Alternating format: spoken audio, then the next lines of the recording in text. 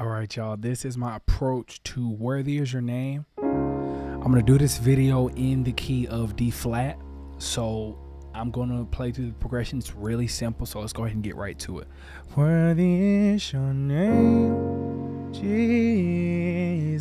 For you deserve the praise. Worthy is your name.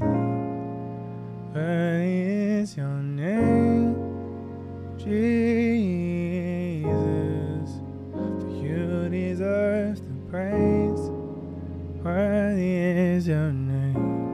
And that's the whole song. Now, that's the simple way you can play it. I'm going to give you about four different options to get you back to the four chord, right? With some passing movements and whatnot. So they're real simple chords. Let's go ahead and get into the first one. I'm gonna try to keep this simple, not too many chords. We're gonna keep it simple. So to get back to the four, you could do something like this. Worthy is your name, right? Just two chords, a five, a one, and a four. That's two, five, one. If you're going to the four. Worthy is your name. Right? It's real simple. If you want, you're able to add in a four over six. Worthy is your name. Right? Real simple chords. Nothing too special.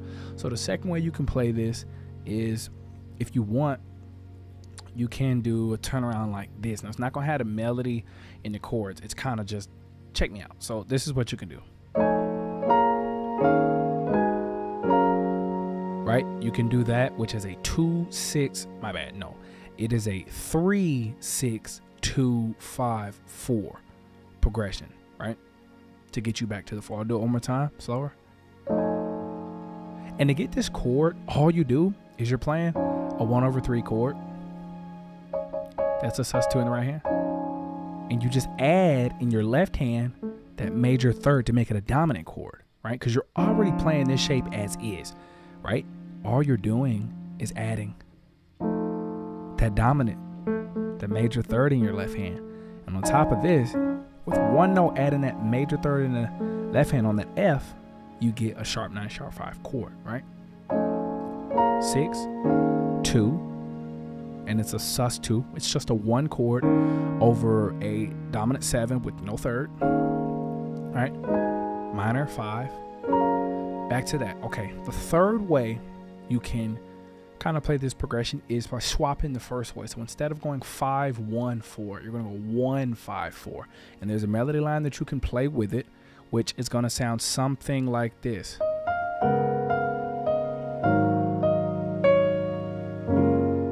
Right? And I do something similar in the key of B on one of my old videos when I did more than anything just for context. I love you, Jesus. Right? So same kind of same kind of concept here. You're doing a one to the five to the four, but they're all 13 sus chords. I think these chords are perfect and they're not too tension. Like they're nice and smooth and, and Christmassy, if you will. Know, like kind of picturing that Christmas spirit. So I'm gonna play the voicing one more time. So you got the melody. Right. Da, da, da, da, da, da, da. right? And there's one more way, and it's real simple. It's it involves you staying on the one. So you're gonna start with a voicing like this. Um,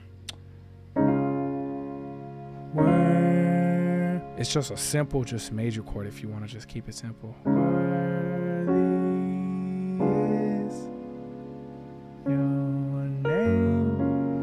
And that's all it is. It's just real simple. It's just going from the one. And if you want, you're able to walk it up. So you can go and then you can walk it back down. Right?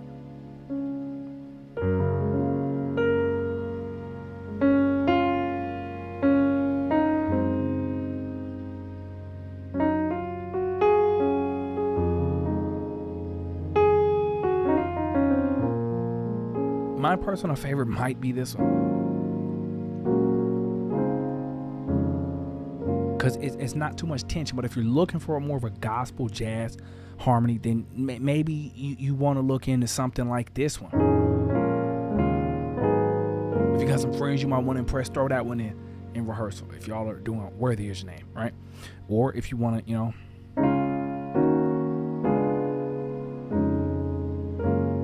You have options here. And then you could also, if you wanted to, throw the melody in there sometimes.